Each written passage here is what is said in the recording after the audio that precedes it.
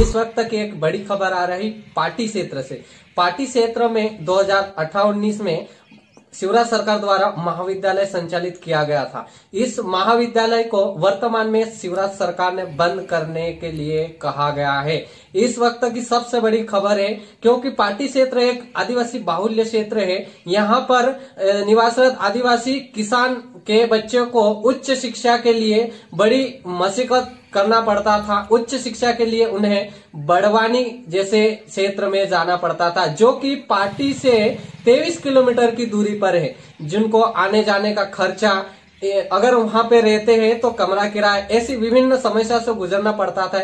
ऐसी स्थिति में शिवराज सरकार ने पार्टी क्षेत्र के लिए एक बड़ी सौगात दी थी कि पार्टी क्षेत्र में एक महाविद्यालय खोला जाए, जिससे पार्टी क्षेत्र के आदिवासी, किसान के बच्चे उच्च शिक्षा ग्रहण कर, उच्च पद पर जाकर अच्छी पोस्ट पर रहे। इसी के साथ इन्होंने ये मकसद से ये कॉलेज का प्रारंभ करा था। लेकिन विगत दिनों ही मीडिया के माध्यम से उन्होंने कहा है कि जिस कॉलेज में 100 विद्यार्थी से कम विद्यार्थी की अगर प्रवेशित होती है तो उन कॉलेजों को बंद करने का आह्वान किया। लेकिन पार्टी कॉलेज में, वर्तमान में 138 विद्यार्थी प्रवेशित है, जो कि शिवराज सरकार के जो बताए गए आंकड़े से ऊपर है। अगर कहा जाए तो ये कॉलेज बंद नहीं होना चाहिए। इस संबंध में क्षेत्र के लोग और प्राचार्य सहित अन्य जो स्थानीय लोग हैं इनका क्या मुद्दा है और क्या कहना चाहते हैं? हमने सभी लोगों से चर्चा की।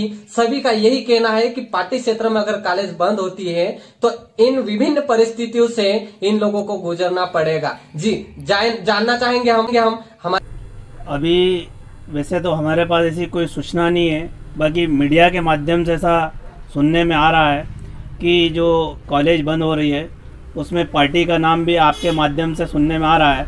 यदि ऐसा होता है तो हम, हमारे कैबिनेट मंत्री आदरणीय प्रेम सिंह जी पटेल, राज्यसभा सांसद सुमेर सिंह सोलंकी जी एवं गजेंद्र पटेल जी हैं, इनसे जाके चर्चा करेंगे कि पार्टी जो कॉलेज चल रही है, जो कि आदिवासी पिछड़ा वर्ग के कारण यहाँ माननीय शिवराज सिंह जी ने घोषणा पर खोली थी क्योंकि ऐसा सुनने में आ रहा था कि एडम, और हम क्षेत्र की जनता और हम आदिवासी क्षेत्रों से भी जाकर आग्रह करेंगे कि यहाँ अधिक से अधिक एडमिशन ले कि जो कॉलेज यहाँ बंद ना हो और इसके लिए हम यदि ऐसा होता है तो हम मान्य शिवराज सिंह जी से प्रतिबंधन मिलेंगे पार्टी। पार्टी क्षेत्र के बच्चे पहले कहाँ जाते थे उच्च शिक्षा के लिए? पार्टी क्षेत्र के पूरे बाहुल्य क्षेत्र के बड़वानी हमारे कॉलेज में जाते थे और और उच्च शिक्षा वहीं से ग्रहण करते थे। अभी यहाँ सुविधा मिल रही है अगर बंद हो जाती तो किन परिस्थिति से गुजरना पड़ेगा अ, ऐसा लगता है यदि यहाँ बंद होता है तो हमारे आदिवासी क्षेत्रों का इसका लाभ नहीं मिलेगा। विगत कुछ दिनों में समाचार पत्रों में जो खबर प्रकाशित हो रही है, वही सूचना हमारे पास भी है। विभाग से एडी स्तर पर या कमिश्नर स्तर पर कमिश्नर कार्यालय के स्तर पर कोई भी आधिकारिक सूचना हमको अभी तक प्राप्त नहीं हुई। अपनी क्योंकि 2018 से अपना कॉलेज शुरू हुआ था तो 2018 में फ़र्स्ट ईयर, सेकेंड ईयर अभी वर्तमान में मतलब पहली बैच अपनी फाइनल ईयर की अब निकलेगी। और विगत वर्ष अपन ने जो है राजस्व विभाग से चार हेक्टेयर ज़मीन का आवंटन हो चुका है देरवालिया रोड पर और भवन निर्माण के लिए विस्तृत डीपीआर बना के भी विभाग को भेजी जा चुकी है। वर्तमान में बच्चों को किस प्रकार से पढ़ाया जा रहा है? वर्तमान में विभाग के निर्देशों के अनुसार महाविद्यालय स्तर पर ऑनलाइन कक्षाओं का संचालन किया जा रहा है और राज्य स्तर से जो है दूरदर्शन मध्य प्रदेश पर भी आ, वीडियो लेक्चर्स का का जो है ब्रॉडकास्टिंग हो रही है उसकी भी। सर अगर कॉलेज बंद होती है तो पार्टी जैसे क्षेत्र में क्या क्या समस्या आ सकती है? नहीं अब ये तो थोड़ी हाइपोथेटिकल बात हो जाएगी अ, क्योंकि अपन तो ये मान नहीं रहे कि अभी कोई अब क्योंकि अपने पास जब तक अधिकृत सूचना नहीं होगी विभाग से अपन उस बारे में कुछ नहीं बोल सकते नमस्कार मैं हूँ कमल करते हैं।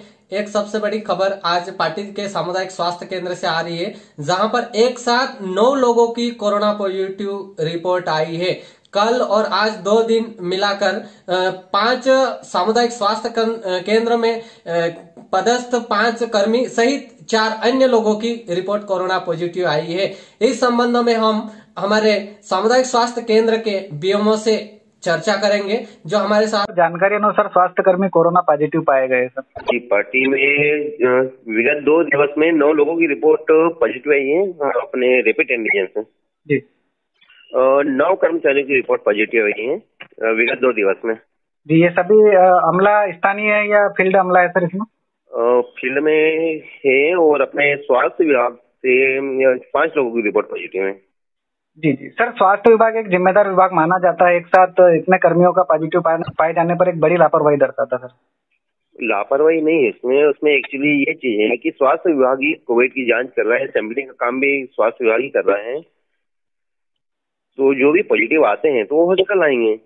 फ़िलहाल सर उनको स्वास्थ्य की दृष्टि से उनको होम क्वारंटाइन किया गया है और कैसा क्या उनका भी फ़िलहाल प्रक्रिया करवाई जा रही है? जी जो पाँच लोग पॉजिटिव आए हैं स्वास्थ्य विभाग से उन्हें होम क्वारंटाइन किया गया है। उनका डेली टेम्परेचर और एस लेवल चेक किया जा रहा है और मेडिसिन लगातार दी जा रही है उन्हें और होम क्वारंटाइन किया गया है। सर कोरोना केस अब ना बढ़े इसलिए आपके विभाग की क्या तैयारी फ़िलहाल? कोरोना केस न बढ़े इसके लिए हॉस्टल में आने जाने के लिए मास्क सोशल डिस्टेंसिंग और सैनिटाइजर का यूज़ करना अनिवार्य कर दिया गया है। वो कर भी रहे हैं। जी बहुत बहुत धन्यवाद सर जुड़ने के लिए। जी।